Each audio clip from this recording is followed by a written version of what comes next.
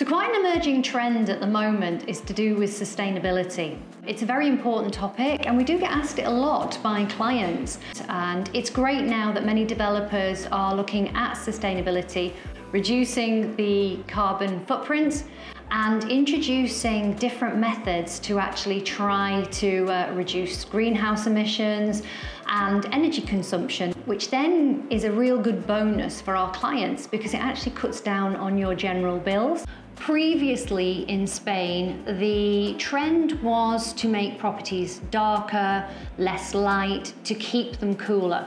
However, now with solar panels, with aerothermia, then running air conditioning and economically or sort of environmentally friendly ones, it makes a big difference. So there's a lot of light, there's a lot of space, there's a lot of air for you to be able to enjoy your home, but with very little cost on the other side.